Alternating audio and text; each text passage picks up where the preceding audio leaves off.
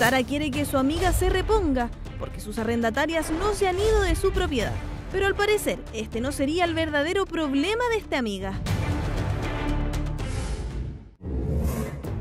Muy buenas tardes, ahora la sesión, doña Sara y doña Iris Verónica. Bienvenidas ambas. Buenas tardes, gracias. Muy buenas tardes. ¿Cuál es su caso? Eh, señorita, mire, vengo aquí porque necesito ayudar a la señora Iris a recuperar su casa, ya que tiene una arrendataria, eh, no sé cómo decirlo la verdad, sin vergüenza, ¿ya? con la cual no hemos podido llegar a acuerdo para que haga la devolución de la vivienda. ¿Y qué relación tiene usted con doña Iris? Yo soy eh, hermana de la nuera de la señora Iris. Yo la he acompañado en todos los trámites que ella lleva, o sea, todo el transcurso de trámites que lleva para poder... Su familia política. Sí. Ya. ¿Y se conocen hace mucho? Desde que mi hermana empezó la relación con el hijo de él, 10, 11 años. Ah, harto tiempo. Sí. Doña Sara, ¿y este asunto de que doña Iris tenga arrendada la propiedad y que no se la quieran devolver, ¿hace cuánto que los está afectando? Ella está solicitando la devolución de la vivienda alrededor de tres años. ¿Tanto tiempo? Sí, de forma legal lleva... Eh, un año. Un año aproximadamente, claro. Eh, y hasta aquí no, no, tenemos respuesta. Y ella, yo la veo que está mal anímicamente, no está durmiendo como corresponde, eh, ha tenido de repente ausencia de memoria, se le van las cosas y yo considero que es producto de lo mismo. O sea, el nivel de estrés que ella tiene hoy día por no recuperar su vivienda, la tiene mal. ¿Considera usted también que está en un nivel de estrés que le está provocando estas ausencias de memoria, como dice ella? Eh, sí, porque no, no, duermo en las noches pensando en que me puedan quitar mi casa. ¿Por qué cree que se la pueden quitar? Porque ella dice que es su casa. Ah. Es su casa. Aparte que no me está pagando el arriendo, este sería el segundo mes que no paga el arriendo, debe gastos básicos, agua, luz, alrededor de 100 mil y basura. Eh, yo estoy en un proyecto de, mejoramiento de vivienda que postulé, tengo todo cancelado. Ya. Y fueron, este año fue el inspector de la municipalidad con el, con el técnico a tomar medidas y ella no lo dejó entrar porque según ella es su casa y no entra nadie. Es lo que me dijeron a mí en la municipalidad, me llamaron para decirme eso. ¿Y ella cuánto tiempo lleva arrendando?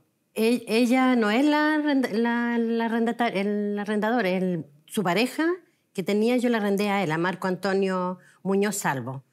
¿Cuándo fue eso? ¿Hace cuánto? Eso fue en el, 19, en el 2019, la arrendé a él y él se retiró alrededor de un año de la casa que me llamó para decirme que él ya no iba a estar en la casa y que tenía que arreglármela con Paulina. Ella no tiene em, contrato conmigo, no tiene nada, entonces no sé qué es lo que ella hace ahí en la casa si ella no es la arrendataria, o sea, la que tiene el contrato. Según ella, es su casa y no entra nadie. Y el tema de la basura lo cancela la propietaria, la dueña, no el arrendatario. Hágalo por la vía legal, me dijo. Yo no me voy a ir. Y aquí me llegaron dos notificaciones y la segunda con orden de desalojo. El nivel de estrés que ella tiene el día por no recuperar su vivienda, eh, la tiene mal.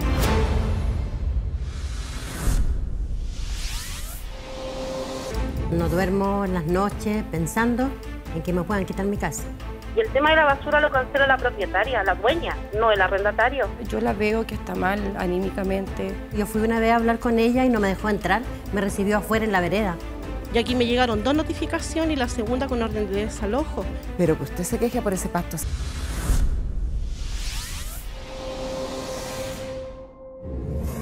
el nivel de estrés que ella tiene el día por no recuperar su vivienda, eh, la tiene mal. ¿Considera usted también que está en un nivel de estrés que le está provocando estas ausencias de memoria, como dice ella? Eh, sí, porque no, no, duermo en las noches pensando en que me puedan quitar mi casa. ¿Por qué cree que se la pueden quitar? Porque ella dice que es su casa. Ah. Es su casa. Aparte que no me está pagando el arriendo, este sería el segundo mes que no paga el arriendo, debe gastos básicos, agua, luz, alrededor de 100 mil y basura.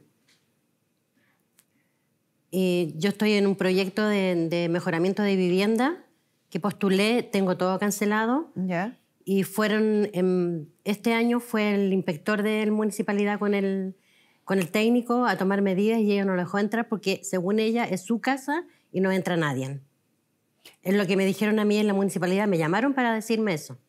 ¿Y ella cuánto tiempo lleva arrendando? E- Ella no es la, la, la arrendata- el arrendador, el- su pareja que tenía, yo la arrendé a él, a Marco Antonio Muñoz Salvo. ¿Y cuándo fue eso? ¿Hace cuánto? Eso fue en el, 19, en el 2019, la arrendé a él y él se retiró alrededor de un año de la casa, que me llamó para decirme que él ya no iba a estar en la casa y que tenía que arreglármela con Paulina. Ella no tiene em, contrato conmigo, no tiene nada. Entonces, no sé qué es lo que ella hace ahí en la casa si ella no es la arrendataria, o sea, la que tiene el contrato.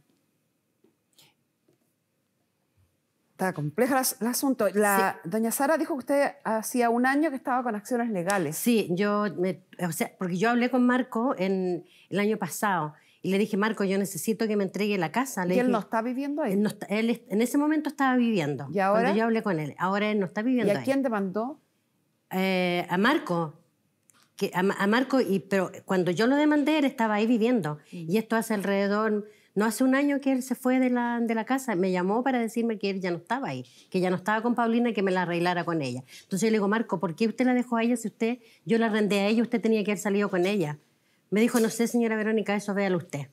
¿Y usted ha logrado hablar con ella? Eh, con ella no. Con ella porque para mí es imposible porque yo fui una vez a hablar con ella y no me dejó entrar. Me recibió afuera en la vereda. ¿Y en esa conversación en la vereda pudieron intercambiar algunas opiniones? No, eh, que yo fui para que me entregara. Me dijo que nosotros no nos vamos a ir de acá, me dijo. Yo le dije, pero es que ya yo les entregué una carta a ustedes certificada yo por mano, que la hice, me la hicieron y la llevé ante notario firmada, se la llevé por mano, que fue la primera carta. Y de ahí yo pidiéndole cada cierto tiempo y un día Marco me dijo, ¿sabe señora Verónica? Me dijo, "Eh, hágalo por la vía legal, me dijo, yo no me voy a ir. Y lo tuve que hacerlo así, empecé a averiguar y... Y esto ocurrió, me dice, hace un año atrás, o sea, el 2022. Sí. Y del 2022 al 2023, según su versión, ella le debe solo dos meses. O sea, después, ahora. después ella siguió pagando el Sí, arriendo, sí. estando sola. ¿Y cuánto Lo- paga de arriendo? Lo otro, el- con el contrato, yo, ellos empezaron pagando 200 el primer año. Yo el segundo año yo le subí a 250 y la mamá de ella me llamó para porque yo le llamé y le dije que por qué me habían depositado 200 mil pesos. Entonces ella va y me dice, "Señ- eh, señora Berito, me dice, es lo que está estipulado en el contrato. Yo le dije, pero el arriendo se sube anualmente. Usted no puede pagarme 200. Es que eso es lo que está estipulado en el, en- en el contrato. Y de ahí ellos me han, se- han seguido pagando 200 hasta el mes antepasado, porque el mes de junio no pagaron. Y ahora vamos, o sea, el mes de junio, si bien digo. Julio, perdón. Entonces, los primeros días de julio no pagó julio. No pagó. Y ahora los primeros días de agosto tampoco, Tampoco ha pagado. Porque yo fui al banco ayer y no, no había ningún depósito. Nuestra periodista Javiera López, que fue quien las contactó y quien investigó la causa, fue a conocer a doña Paulina. Veamos cómo le fue.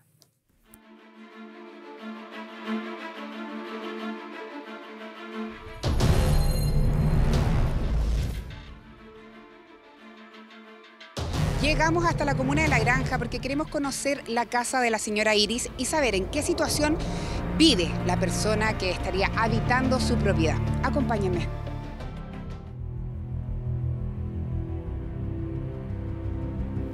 La casa.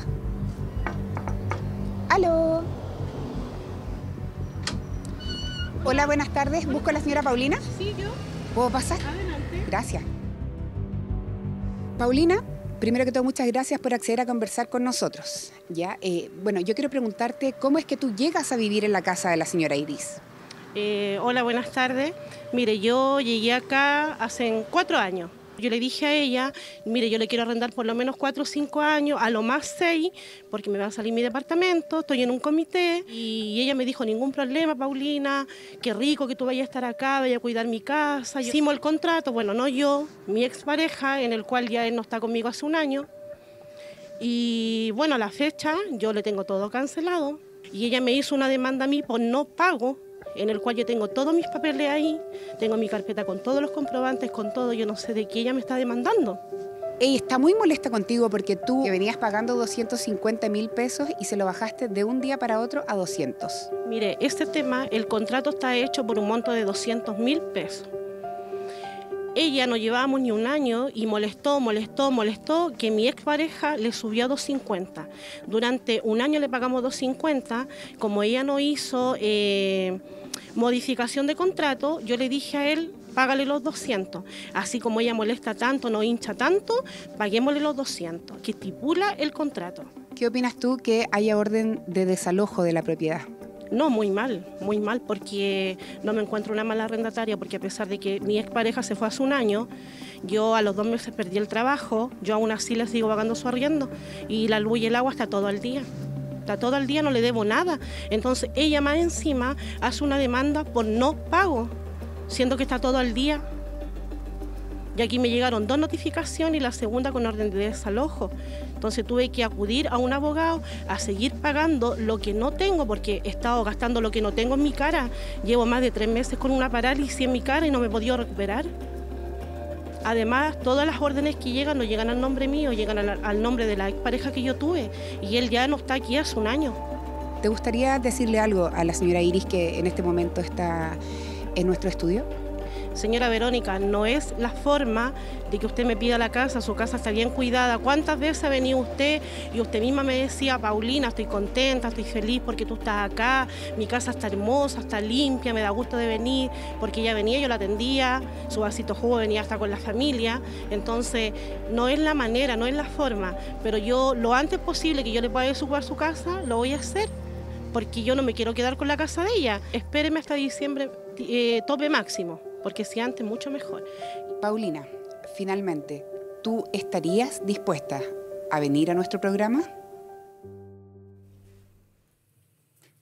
Hartas cosas eh, diferentes Sí. respecto a lo que usted indicaba. Quizás eh, la que llama más la atención es que ella dice, no debo nada. No, y debe, porque no, no está, no, eh, eh, como le dijera, eh, ay, eh, depositado. No está depositado, no tiene paga. eh, Tengo aquí las cuentas del agua y la luz que las tiene impaga, como ella dice que tiene todo Y pagado. puede haber sido que se haya puesto al día entre que usted pidió esos informes y fuera nuestra periodista Disculpe, eso está desde ayer. de ayer. Ayer yo saqué el informe de deuda de luz y agua y hay ¿Qué dice ese cuenta informe de luz? De, Eh, deben de casi 100 mil pesos en ambas cuentas. Y eso es desde ¿En ayer. cada una o en total? No, hay en una total. de 64 mil y fracción y la otra de un valor de... ¿Y no puede ser el gasto de este mes? No, dice que hay una cuenta atrasada más la del mes. Ya. Lo dice la, el ¿Te lo llevas? sí? Ya, tráigamelo.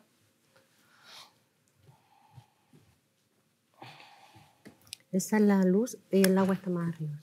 Y debe basura también, que la basura le corresponde pagar a ella porque yo fui a la municipalidad y tiene que cancelarla a ella la basura.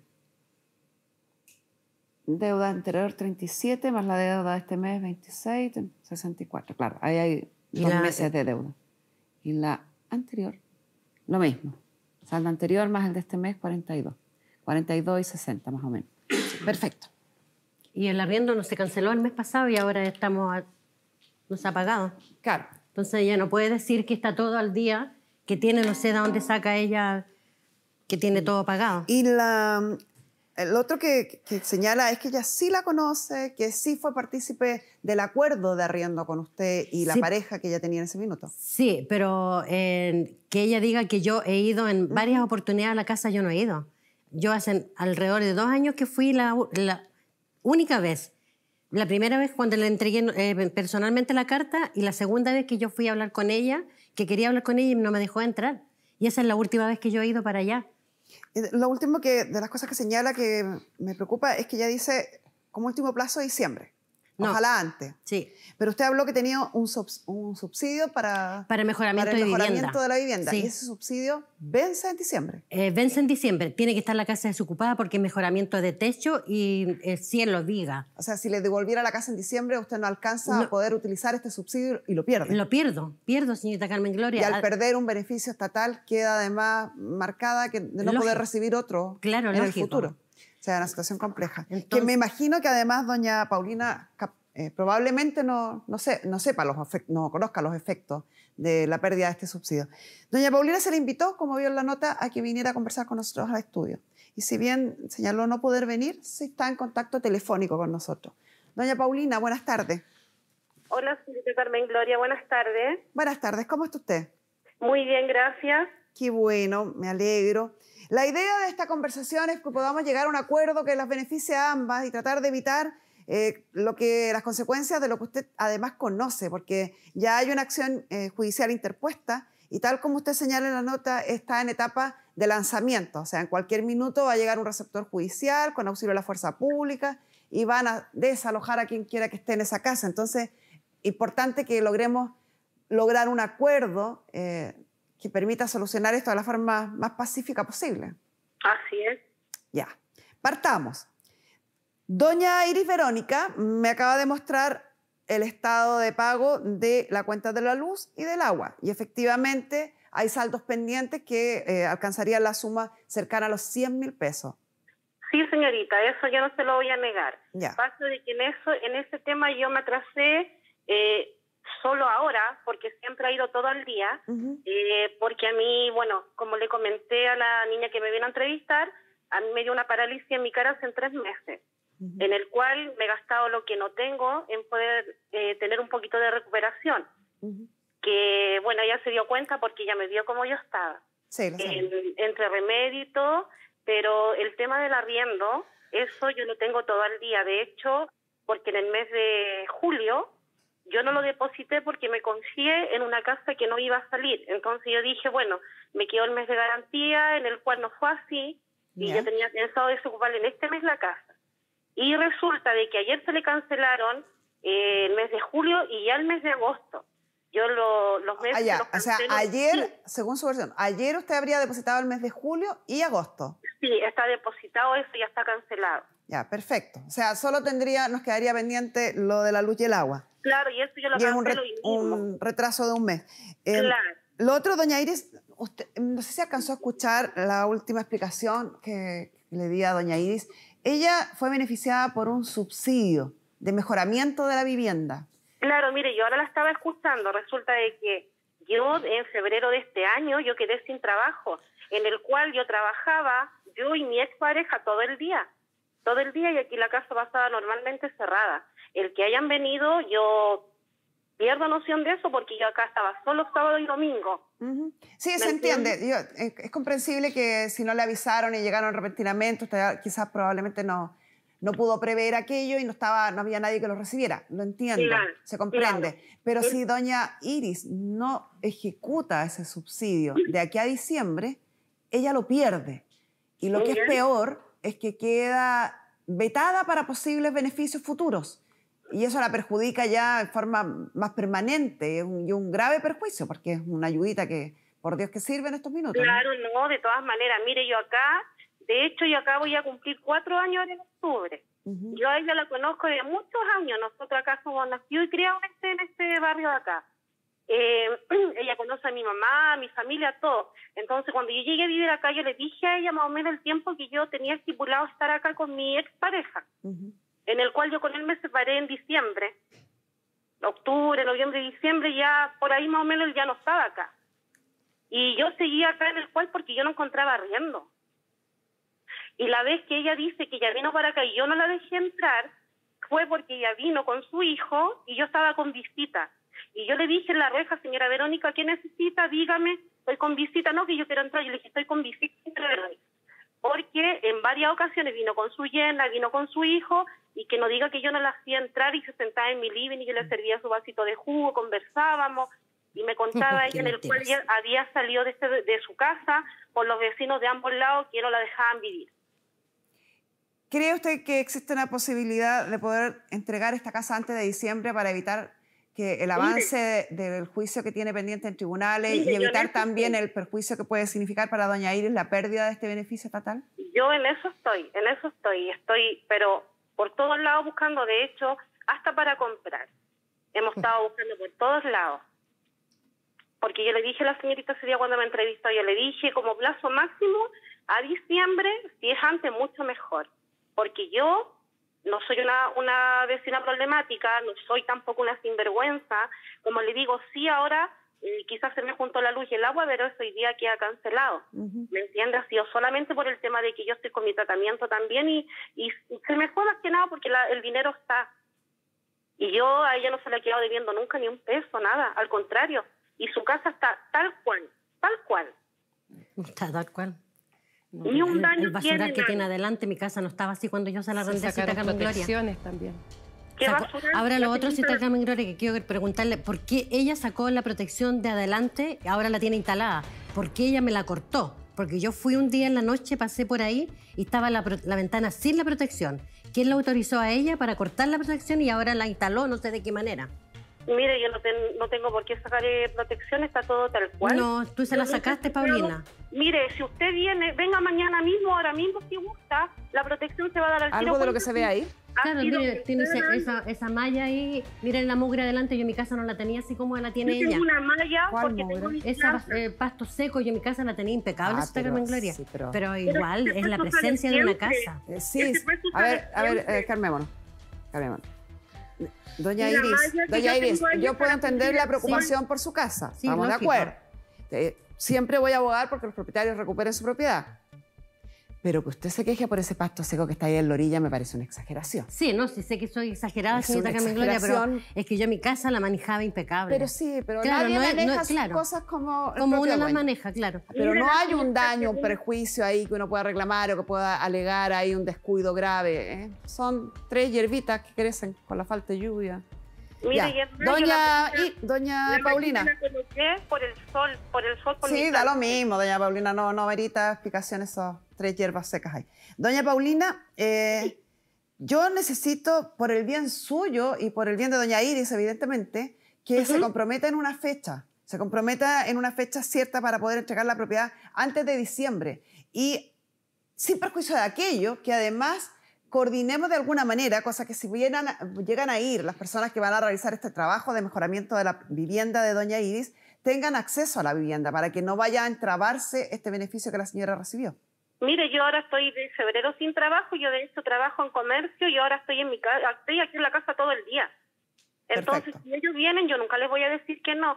Mire, el único tema que yo le puse traba a ella es que el vecino de al lado, de del cual ella tuvo mucho problema, él cerró con muro porque ella lo había autorizado. Yo le dije, señora Verónica, cuando yo le entregué su casa, cierre todo como bóveda, pero yo tengo plantita, le dije, y necesito que me entre rayito de luz, rayito de sol.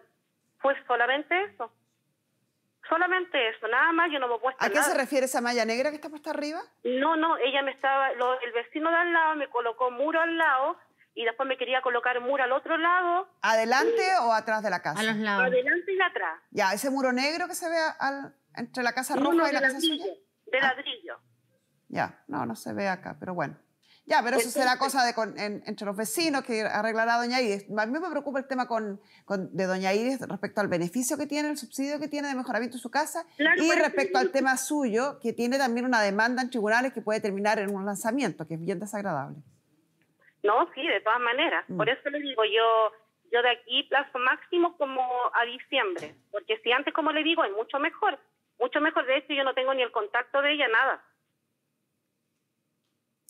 Como para Ojalá fueran los próximos dos meses, tres meses máximo, Claro, mire, no en diciembre. Ahora estamos tratando una casa y si nos va bien dentro de estos días, yo la aviso al tiro. Si yo, mire, no tengo ninguna ganas de quedarme con la casa de ella, porque la verdad es una mujer muy, muy problemática.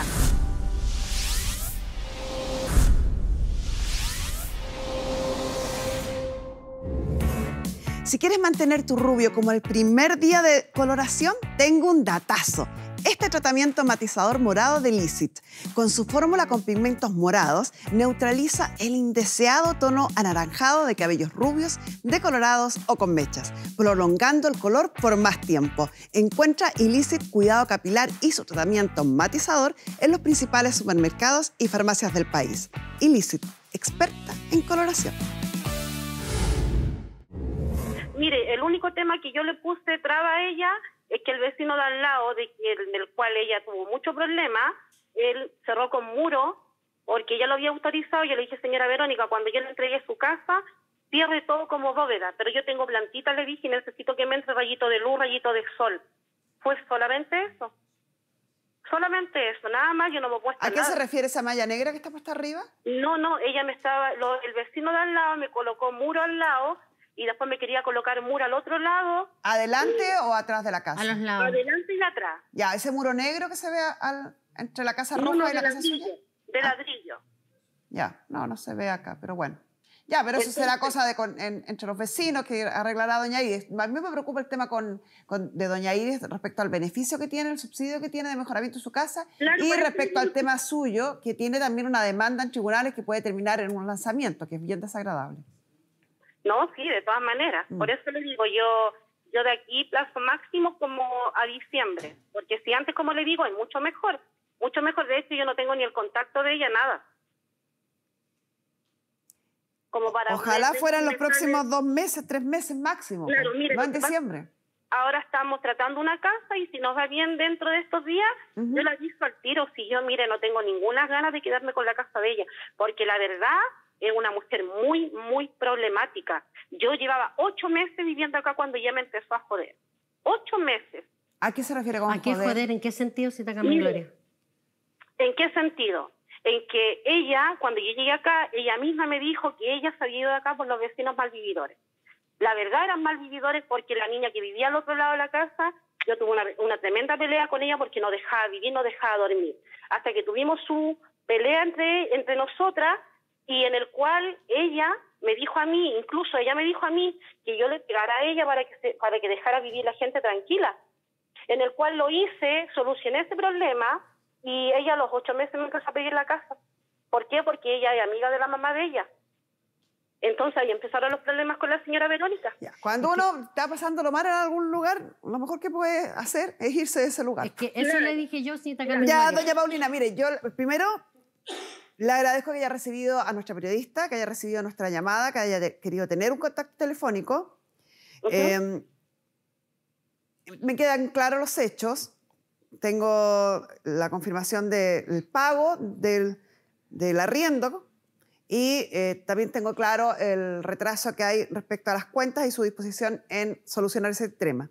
Respecto al plazo que usted pide, eh, yo le agradecería que apenas se vaya, que ojalá sea en los próximos días o semanas, como usted eh, anuncia, nos avise para poder hacer Sí. entrega pacífica de la propiedad a Sí. doña Iris y también para que doña Iris pueda retirar la acción judicial que tiene y así usted no pase por este mal momento. Sí, No, de Y como maneras. última petición, que se mantenga en contacto para que doña eh, Iris pueda permitir que los inspectores o trabajadores que van a realizar estas mejoras puedan ingresar a la casa y revisar o quizás iniciar los trabajos para poder ocupar este beneficio. De todas maneras, yo no tengo ningún problema, señorita Carmen Gloria, ningún problema. El otro tema que yo quería eh, decirle, el tema de la basura, yo averigüé el tema de la basura y el tema de la basura lo cancela la propietaria, la dueña, no el arrendatario. Yo nunca he sabido, yo llevo años arrendando y nunca yo he cancelado basura. Es lo que me Eso me dijeron llama mucho la atención, mucho, mucho la atención. Mi mamá también tiene vivienda y ella arrienda y ella paga su, su basura, no el arrendatario. Entonces, eso me quedó dando un poquito vuelta. Solo le voy a- ah, les voy a explicar a las dos ese punto. El, el contrato de arriendo es un contrato que deja abierto, como todos los contratos en nuestro país, muy abierta la autonomía y la voluntad, o sea, lo que las partes puedan convenir de común acuerdo, salvo el marco legal que establece eh, nuestro Código Civil de cuáles son las obligaciones del arrendador y cuáles son las obligaciones Sí. del arrendatario. Por regla general, todas las obligaciones que pueden eh, derivarse del dominio directo, como las contribuciones o el pago de la basura, efectivamente son de cargo del propietario, salvo que las partes hayan acordado algo distinto. Muchas gracias, doña Paulina. De nada, señorita Carmen Gloria, que tenga buena tarde. Igualmente. Voy a pedirle a nuestra psicóloga Pamela Lagos que se suma a la conversación porque aquí hay varias cosas que creo que necesitan de la intervención de un especialista en la materia. Pamela, se habló de falta de sueño, de pérdidas de memoria eh, y todo esto, de crisis de angustia incluso, todo esto supuestamente derivado de un estrés por el que estaría viviendo doña Iris a raíz del arriendo. Sin embargo, sin mirar en menos la situación y el problema, porque esto depende, cierto, de cada persona, frente a problemas similares de arriendo, es bastante menor. O sea, acá no hay una gran deuda, no hay un gran deterioro. Entonces, obedece, por ejemplo, a la exageración de ver ese pasto como algo tremendo, que lo pudimos ver en pantalla, a este cuadro de un supuesto estrés que dice doña Sara percibir en doña Iris. Acá la sintomatología que refieren es una sintomatología efectivamente de estrés. El tema es que primero el huevo o la gallina, dicen por ahí. Y eso tiene mucho que ver con que hay veces en que hay sintomatología por diversas razones. La sintomatología, la sintomatología de falta de sueño, de estrés, de olvidos momentáneos, es patología de estrés. Pero cuando tenemos esa, es- esa sintomatología, muchas veces las personas buscan un foco a- al cual echarle la culpa, por decirlo en buen chileno. ¿sí? Se llama el objeto que carga esto. Para, para, yo creo que uno mismo entender, ah, esto es lo que me Esto causa. es lo que me está causando esto. Y pongo todo lo que me está pasando a mí, que tiene que ver conmigo, en un objeto externo que me permite controlarlo de mejor manera. Me explico. ¿Qué quiere decir esto? Quiere decir que probablemente lo que está pasando es que efectivamente la señora Iris está con una sintomatología ansiosa. Además hay que entender que las emociones se retroalimentan cuando no las tratamos, cuando no podemos comunicarlas, cuando no podemos hacernos cargo de ellas. Esto empieza a crecer, empieza a invadir nuestro mundo y empezamos a ver los problemas como algo mucho más grande. A mí lo que me preocupa acá es que tal como dices tú, este foco, este objeto donde se carga todo esto, es un foco muy débil, que muy fácilmente puede desaparecer, que probablemente cuando esta eh, arrendataria se vaya, va a desaparecer ese foco, pero lo más probable es que la sintomatología siga y aparezca un nuevo foco en donde poner y en donde cargar todo lo que está pasando, porque lo que tenemos que tratar es la base, no lo que está pasando afuera.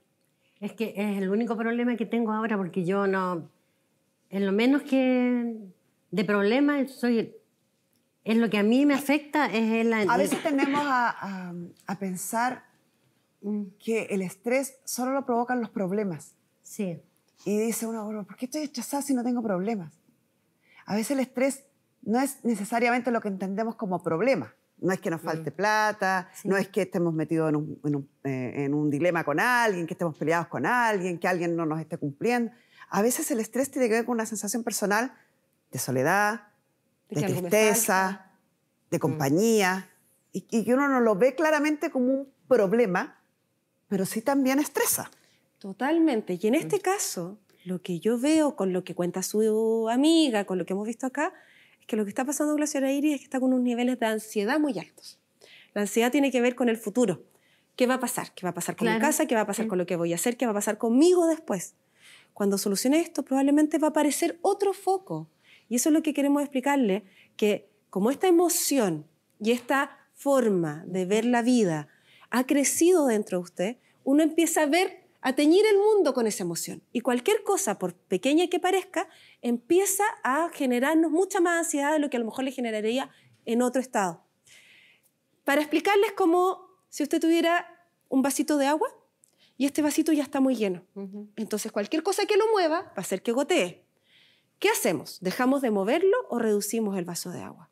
Lo que necesitamos es reducir ese vaso de agua, porque de lo contrario, por más que usted diga, mire, ahora que ya no me van a mover el vaso, lo voy a mantener tranquilito, en algún minuto cualquier hecho externo que pase, se vuelve a caer el agua. Entonces vamos a necesitar que usted también se haga cargo de esas emociones, se haga cargo de, de que usted está con un nivel de ansiedad tremendamente alto y que probablemente viene de antes. Y esto, lo voy a decir en chileno, la agarró en mal momento lo de la casa.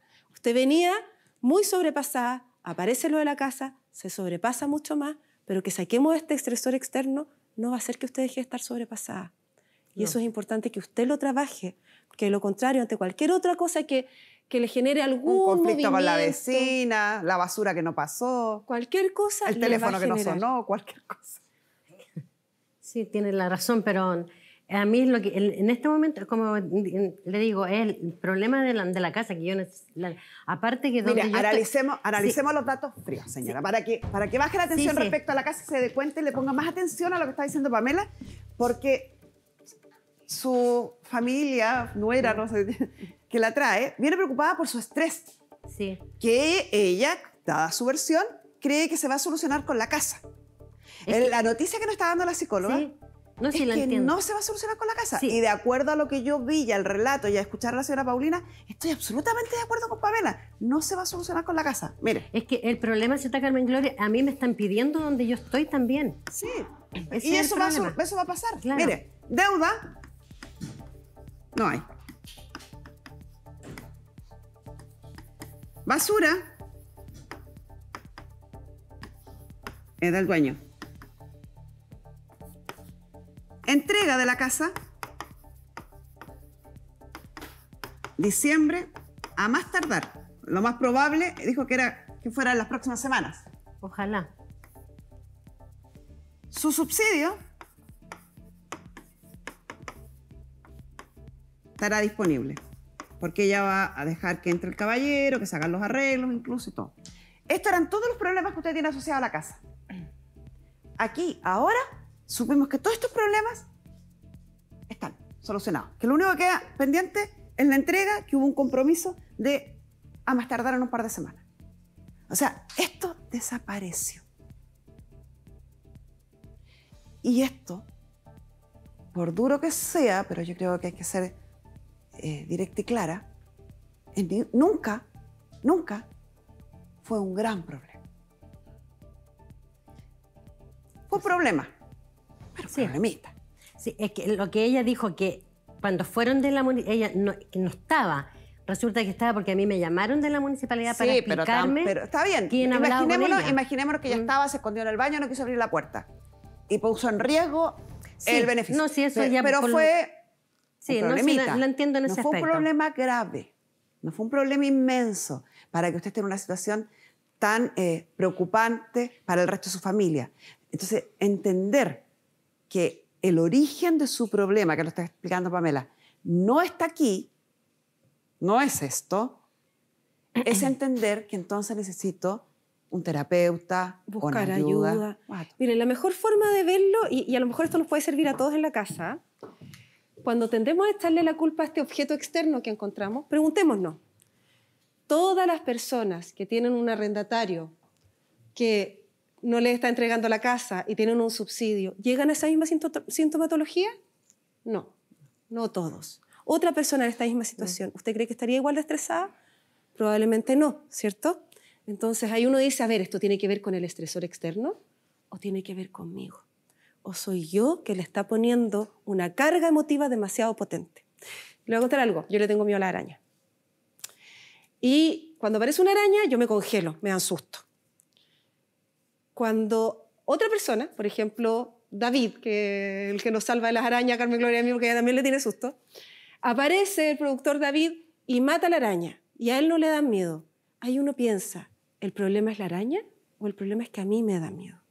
Esto es lo mismo. El problema no necesariamente es la casa. Yo sé que esto es un conflicto para usted, sé que la estresa y sé que le molesta. Sin embargo, la carga emotiva que usted le pone es de usted.